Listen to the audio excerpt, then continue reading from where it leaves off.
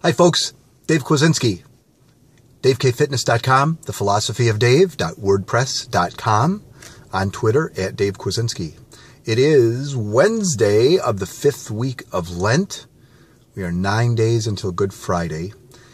And let's talk again about confession. Today, the first reading is from Daniel, and it's about Meshach, Shadrach, and Abednego, or do you say Abednego? three men who are cast into the white hot furnace. And then King Nebuchadnezzar goes absolutely crazy when he sees that um, these guys that were thrown in, bound into this fiery furnace, seem to be walking around in the furnace, in the flames, with a fourth figure that looks like an angel of the Lord.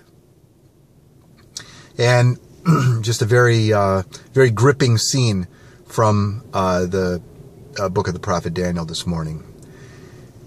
But let's talk about, uh, I just wanted to mention that, but let's talk about confession. And yesterday night was reconciliation service at uh, St. Pat's, Church of St. Patrick in Wadsworth, where uh, we attend. And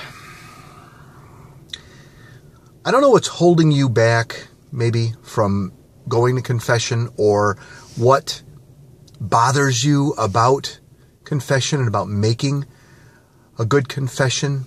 Um, maybe you can't forget something that's happened and you dwell on it. I heard a fantastic story today and I just have to relate it from Johnnette Benkovic, who is a host on uh, several programs on EWTN. And when I got back into the, the car to make the uh, long trek north, she was on a program called Women of Grace, and she mentioned a time when she was at confession and she was having a hard time dealing with something that had really troubled her.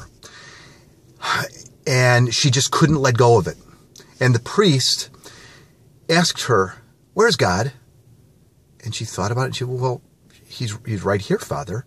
He's right here. You sure he's right here? Well, yeah, he's, he's present always. And the priest said, He's omnipresent? And she said, Well, well, yeah. And then he asked again, Where's God? Well, he's right here. Where is he? He's right next to me.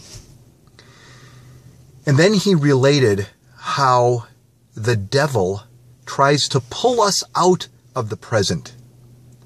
And he uses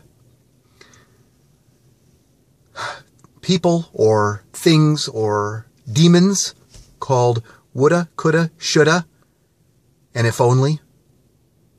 And they drag us back into the past.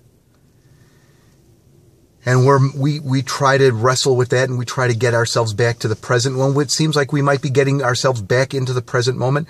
Then he uses what if and tries to pull us into the future instead of us being in this omnipresent moment with Jesus, where Jesus wants us in the here and the now. It's a little bit longer story. I don't, I obviously don't have the time to get into it, and you know how I like to talk.